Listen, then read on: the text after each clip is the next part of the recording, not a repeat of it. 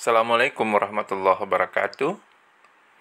Pada kesempatan ini, saya ingin menginformasikan persyaratan uji kompetensi untuk jabatan fungsional binaan KLHK. Untuk rekan-rekan yang akan naik jenjang jabatan satu tingkat lebih tinggi untuk jabatan fungsional binaan KLHK, perlu diperhatikan syarat-syarat ini.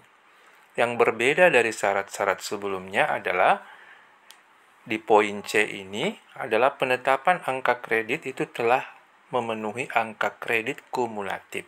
Artinya, angka kredit untuk naik pangkatnya sudah terpenuhi 100%.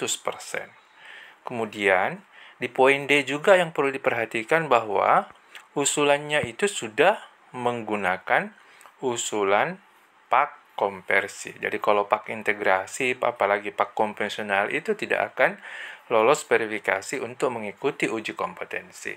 Kemudian yang syarat yang lain yang baru juga adalah SK kenaikan pangkat itu harus minimal telah 2 tahun pada pangkat puncak. Misalnya yang akan naik ke ahli media maka sudah 2 tahun di dalam 3D. Yang akan naik ke ahli muda maka minimal sudah 2 tahun di golongan ruang 3B. Demikian yang lainnya ya. Sedangkan untuk rekan-rekan jabatan fungsional binaan KLHK yang ada di dinas-dinas kehutanan, ada poin B yang harus diperhatikan di dalam mengikuti uji kompetensi, yaitu harus sudah tersedia surat persetujuan formasi dari Menpan.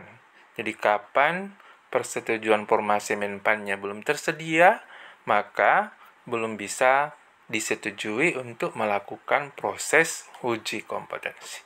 Demikian informasi ini semoga bermanfaat. Assalamualaikum warahmatullahi wabarakatuh.